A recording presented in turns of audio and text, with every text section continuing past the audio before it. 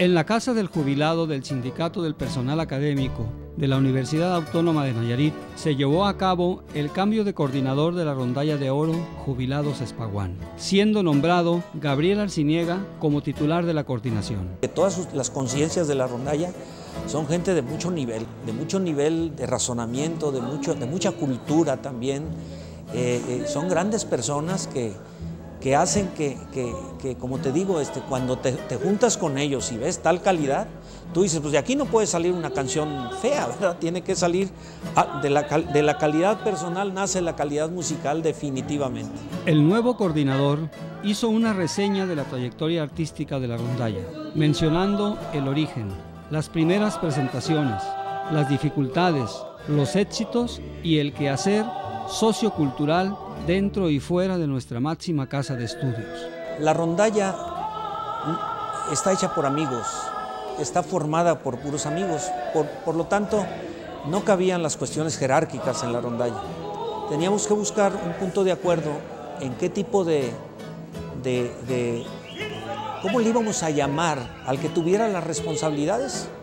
Y al final decidimos hacer un documento que le tocó a tu servidor redactar, eh, en donde solamente anotamos coordinaciones. ¿Por qué coordinaciones? Porque coordinamos las voluntades de todos, coordinamos los esfuerzos de todos. No hay este, órdenes eh, precisas, sugerimos en lugar de imponer. Y esto hace que la rondalla cada vez eh, los elementos sean más felices.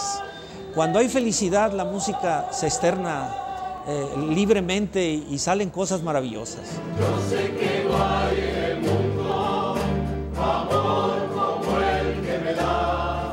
Gabriel Arciniega presentó el documento rector, la estructura de la coordinación y el proyecto que consolidará a la rondalla de oro.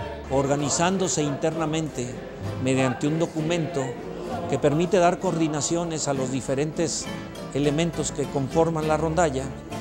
Y bueno, eso permite que, cada quien aporte, o sea, que tenga un aporte de verdad eh, importante para que la música sea cada vez de, mejor calidad. Después del apoyo tan grande que hemos recibido del montador Carlos Muñoz, este es un año de consolidación de la rondalla, un grupo que, eh, que en dos años se ha, se ha, mantenido más o menos en el gusto de, la gente, pues tiene que eh, aumentar un poquito sus metas, ¿verdad? Por ejemplo, salir, salir a tocar otro estado, eh, ¿por qué no ir a un canal en México? Buscar las invitaciones para tocar en ferias como la de Aguascalientes. En, fin, nuestras metas tendrán que ir acorde con nuestro sentido de, calidad que tengamos, que la gente nos admita bien donde quiera que vayamos.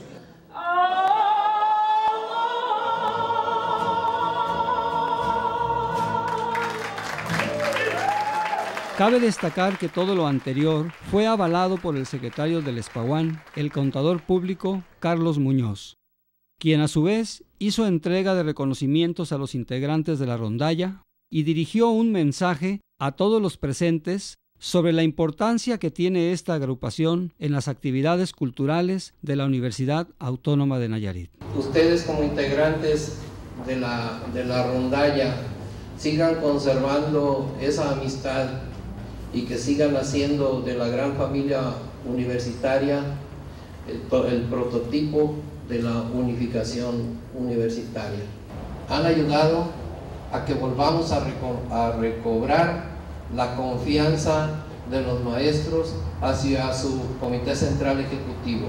El mensaje hacia la comunidad universitaria es que cuando se piensa en positivo y cuando se pone uno metas que puedan trascender, eh, uno lo puede lograr el, ejemplo que queremos mandar a, los integrantes de la universidad, eh, a, los, jóvenes, es que siempre que, se piensa en cosas positivas, pues generas cosas interesantes, importantes para tu comunidad. Y también quiero agradecer desde luego al señor rector de la universidad, al contador eh, Juan López Salazar, que realmente ha estado al pendiente de la rondalla. Por eso